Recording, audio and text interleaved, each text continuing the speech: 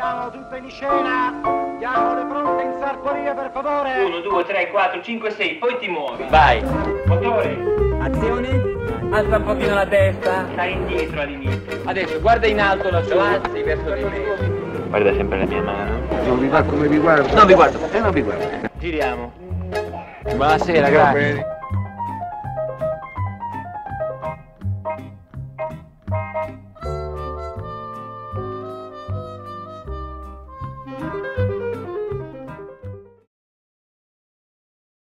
La produzione è il reparto che, alle dirette dipendenze di un produttore, si occupa dell'organizzazione generale di un film o di una serie televisiva.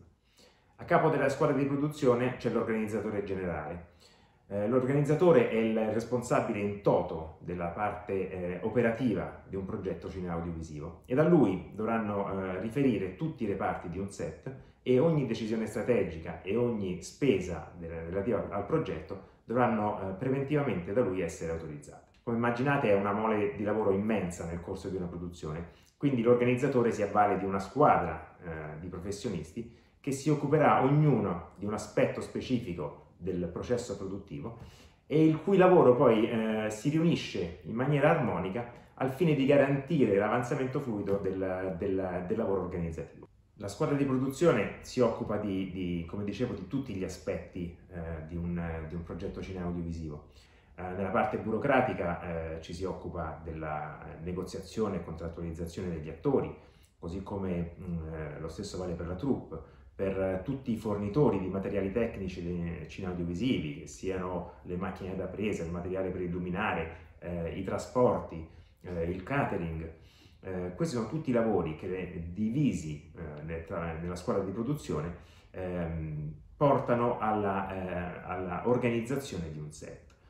Oltre al lavoro burocratico di ufficio, c'è tutta quanta la parte operativa dei reparti, eh, dalla scenografia, eh, con la quale la produzione collabora nella ricerca delle location, nella decisione delle scenografie da realizzare, allo stesso discorso per i costumi, eh, con i quali si, si scelgono i fornitori più convenienti per il progetto di riferimento, eh, si decide la composizione della squadra del reparto costumi e, e poi con, con tutti gli altri reparti, che sia il trucco, il parrucco. Un altro reparto fondamentale per un set cinematografico con il quale la, la produzione si, si interfaccia e si relaziona continuamente è il reparto fotografia. Il direttore della fotografia è un collaboratore fondamentale per ogni regista perché eh, è colui che realizza e decide il look fotografico di un progetto. Il direttore della fotografia insieme alla produzione dovrà decidere anche il materiale tecnico che quella determinata produzione potrà permettersi per realizzare il film e dovranno scegliere assieme i fornitori che garantiranno il miglior rapporto qualità-prezzo e potranno mettere la produzione in condizione di realizzare il più bel progetto possibile. Con l'aiuto di una slide voglio scorrere rapidamente quelle che sono tutte quante le figure professionali del, del reparto di produzione. Alle dirette dipendenze dell'organizzatore generale c'è il direttore di produzione. È una figura di grande responsabilità, legalmente equiparata a quella dell'organizzatore e con l'organizzatore eh, condivide tutta quella che è la gestione economica e organizzativa della troupe e del set. Alle dipendenze del direttore di produzione ci sono eh, gli ispettori ed è una squadra che si occupa della, della gestione eh, logistica del set. Eh, sono- si dividono i compiti generalmente in chi si occupa prettamente della gestione della troupe sul set, chi si occupa dei trasporti, chi si occupa della logistica di contorno del set, che, che prevede eh, l'uso di, di moltissimi camion, di moltissimi mezzi tecnici che richiedono un'organizzazione eh, quasi militaresca. Altro reparto fondamentale della squadra di produzione è il coordinamento di produzione. Eh, loro gestiscono l'ufficio di produzione e eh, da loro passano tutte le, le- le pratiche più complicate e più complesse che eh, la produzione deve, deve- deve portare avanti. Dai contratti degli attori ai permessi di occupazione del suolo pubblico, a tutti i vari permessi che si devono richiedere ai vari enti, alle istituzioni, i permessi per far lavorare i bambini, i minori, ehm, tutto quello che riguarda i viaggi e gli alloggi degli attori che magari arrivano dall'estero, da paesi anche eh, lontanissimi, e, e- o magari la troupe che deve soggiornare in una, in una località eh, in trasferta, dove si- in una location particolare in trasferta. e generalmente sui progetti più strutturati la capo coordinatrice eh, si avvale di almeno tre o quattro collaboratori. È un reparto che eh, si interfaccia moltissimo, costantemente e quotidianamente anche con, con l'amministrazione, in quanto deve, eh, poter, deve fornire tutte quelle che sono le liste di assunzione del personale e tutto, che, tutto quello che è il, eh, il materiale cartaceo, il lavoro cartaceo per, per gli acquisti dei beni e dei servizi di cui la produzione generalmente si avvale. Il location manager è quella figura professionale che si occupa di un altro degli aspetti fondamentali di un set, gli ambienti di ripresa. Eh, gli ambienti sono, sono, insieme agli attori, costituiscono il, il cuore, la, la, la, struttura principale di un, di un, film. Il location manager deve essere una, una persona eh, professionalmente molto preparata, che abbia anche un, un certo gusto e una certa eh, capacità e certe doti eh, creative perché deve essere anche in grado di proporre allo scenografo una certa eh, gamma, una certa rosa di ambienti che poi andranno a, ad essere utilizzati per raccontare nello specifico eh, una determinata scena o, un, o, un o, una parte della storia. I segretari di produzione e gli aiuti eh, sono la vera eh, forza lavoro del reparto produzione. Eh, questo, questa figura, eh, forse in italiano, eh, può leggermente confondere il termine segretario di produzione perché uno pensa, pensa più a un, a un, lavoro di ufficio ehm, e rende più l'idea il termine inglese assistant unit manager. Eh, questi sono, sono i, i, principali collaboratori degli ispettori di produzione e fanno sì che eh, tutta l'organizzazione del set sia resa operativa, eh, controllando che arrivino puntualmente tutte le forniture ai vari reparti, che il catering sia eh, organizzato e, e, in orario e, e tutto funzioni eh, secondo le, le, regole, le normative di, di igiene e di sicurezza e ehm, una parte di, di, di, questi aiuti di produzione viene definita runners e sono coloro che si occupano dei, dei trasporti, dei trasporti della, della troupe, dei trasporti degli attori da casa al set, di tutti quelli che sono i movimenti eh, necessari su un set per, per la fornitura di materiali ogni film o ogni serie tv eh, ha una storia a sé stante. Eh, sarà la stessa tipologia del progetto, che sia un progetto contemporaneo, che sia un progetto d'epoca, a determinarne eh, gli aspetti eh, logistici e organizzativi che la produzione dovrà in qualche maniera affrontare. Voglio prendere ad esempio l'ultima serie dei Medici. Eh, pensate che nella città di Volterra, eh, nel cuore della Toscana, abbiamo dovuto eh, ricostruire la piazza della Signoria di Firenze. Per far questo il regista e lo scenografo dell'ultima stagione hanno voluto ricreare quella che è la loggia dei Lanzi, un vero e proprio cantiere dove abbiamo realizzato una loggia che, è, che era lunga eh, 25 metri, alta 8 e profonda 7. La logistica di un, di un film d'epoca è particolarmente complicata perché, eh, come potete immaginare, ogni mattina sia gli attori ma anche e soprattutto le figurazioni sono, devono essere tutte quante eh, sottoposte a un, a un trucco e a una vestizione molto complicata. Fondamentale è la gestione degli animali di scena. Eh, considerate che il mezzo di locomozione era, erano i cavalli e, e che quindi eh, un, un, set, come era quello dei medici, aveva sempre al seguito un, una piccola, un piccolo plotone di circa 20-22 cavalli che richiede eh, che seguivano costantemente la troupe in tutti gli spostamenti e che eh, richiede una, un'attenzione particolare perché il trasporto, spostare i cavalli, alloggiarli in varie, in varie città richiede tutta quanta un'organizzazione molto importante soprattutto dal punto di vista eh, medico eh. Passando però da, dai racconti di, di, di una serie d'epoca a una contemporanea, eh, voglio eh, parlare di, di, quella che è la serie che forse mi sta più a cuore, che è Un passo dal cielo.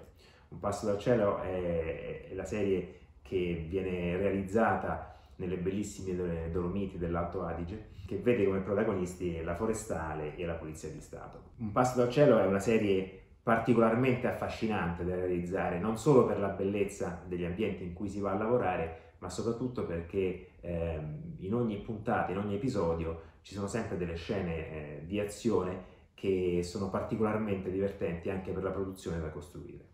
Tra la quarta e la quinta stagione di Un passo dal cielo, i produttori avevano deciso che, che, era, che poteva essere particolarmente interessante raccontare il passaggio del tempo tra, tra un anno e l'altro, tra una stagione e l'altra dovevamo raccontare gli ambienti che siamo soliti vedere con i prati verdi eh, perfettamente innevati. Per far questo era necessario realizzare, aprire un set eh, subito dopo una, una, fitta nevicata. Non è stata certo una cosa semplice, abbiamo dovuto preparare una squadra, metterci, eh, preparare le macchine da presa che fossero equipaggiate per, per poter uh, lavorare tranquillamente a temperature molto basse e uh, abbiamo messo in stand by i vari elementi della troupe, una troupe anche relativamente snella, agile, che poteva servire per quelle sequenze e ognuno stava pronto più o meno a casa propria, chi stava a Milano, chi stava a Bolzano, chi stava a Roma. In, eh, in tutto questo il meteorologo, che è un elemento fondamentale, soprattutto su serie complicate che si girano in montagna, eh, teneva d'occhio tutta la situazione, l'evoluzione eh, de, delle nevicate de, meteorologica eh, in Alto Adige. Quando è arrivata la telefonata del meteorologo che annunciava una fitta nevicata che si sarebbe esaurita nel corso eh, di una giornata e nel, e nel, corso della notte, siamo eh, saltati tutti nelle proprie macchine e abbiamo raggiunto il lago di Braies. La palafitta, che è uno degli elementi più riconoscibili della serie, era talmente coperta di neve che non si riusciva a capire cosa fosse. Questo eh, ha fatto sì che mentre andavano avanti le riprese, a turno tutta la squadra, io stesso, il regista, eh, Daniele Liotti, l'attore che stava girando con noi, così come i macchinisti ed elettricisti, ci siamo messi a spalare la neve armati di badili e pale e abbiamo in pochissimo tempo, in un paio d'ore, fatto risplendere il legno e tirato fuori quella che è la palafitta di un passo dal cielo. Altra, altra, giornata memorabile di set di un passo dal cielo è stato quando abbiamo dovuto far atterrare un idrovolante nel lago di Braies. Era il finale della terza stagione e dovevamo raccontare il, il passaggio uh, di testimone tra Terence Hill e Daniele Liotti.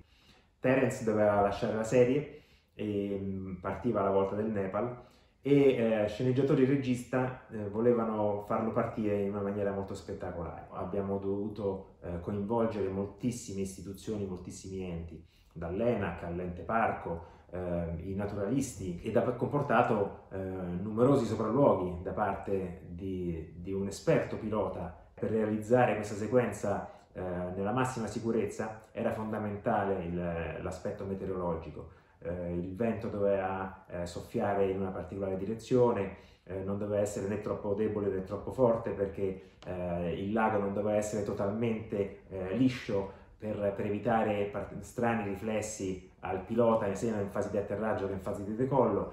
Il sentiero di ingresso e di uscita nel lago era uno unico e strettissimo, quindi insomma una, è stata una, un'avventura ehm, un po' pionieristica, eh, direi. E posso dire che, eh, che, questa, che questa, sequenza eh, è riportata sui registri aeronautici italiani come eh, un, un, evento storico, in quanto è stata eh, la prima volta che un aereo è atterrato e decollato dal lago di Braies. Ringraziando il Ministero per gli Affari Esteri e la Cooperazione Internazionale e il Premio alla Pellicola d'Oro per avermi invitato a partecipare a questa bellissima iniziativa, eh, vi saluto lasciandovi con un video che racconta 25 anni di fiction di successo italiana. Eh, è un video ehm, prodotto dall'azienda con cui io collaboro dal, dal 1994 e che in questo momento mh, difficilissimo, direi quasi drammatico, in cui i set di tutto il mondo sono fermi, eh, mi piacerebbe potesse essere un, eh, un messaggio di, di, speranza e di positività eh, perché il nostro paese possa riaprire presto eh, i set e che possa tornare eh, nel più breve tempo possibile ad essere quella location meravigliosa di tantissimi film e fiction di successo nazionali ed internazionali. Grazie a tutti.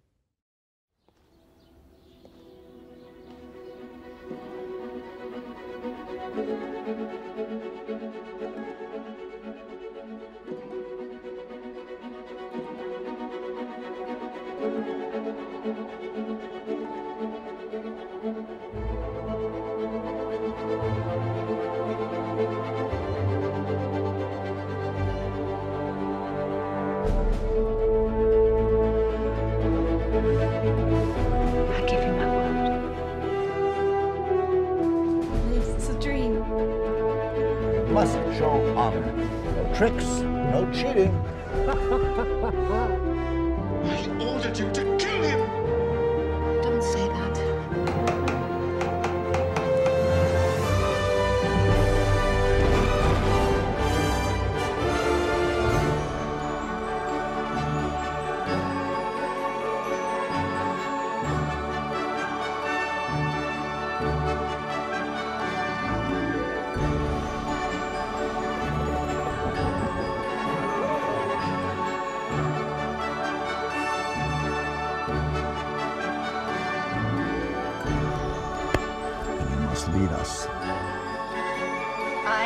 Want his death. I must go on until I reach the land. What has happened to you? I don't know, Father. Designers these days have forgotten that real women are inside these clothes.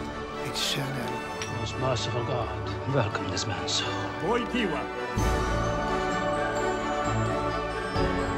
Just send us. Oh, Alexei! Take me to Natasha, please. I'm a real boy. Ora trasmettiamo dagli studi di Via Teulada la dodicesima e ultima puntata di Studio 1. Mi riconosci? Sì, mamma. Hai fatto una cosa bellissima. Senza te non avrei fatto nulla. Let me show you one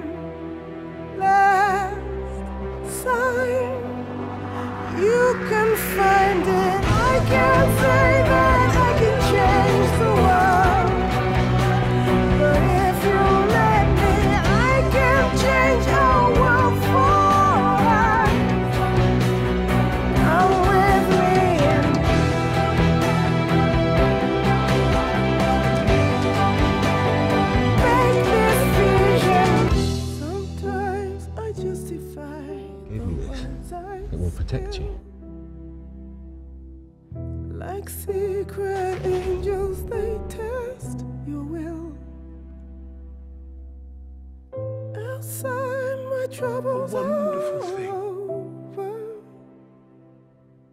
It's time to In go. your eyes, the melody is frozen.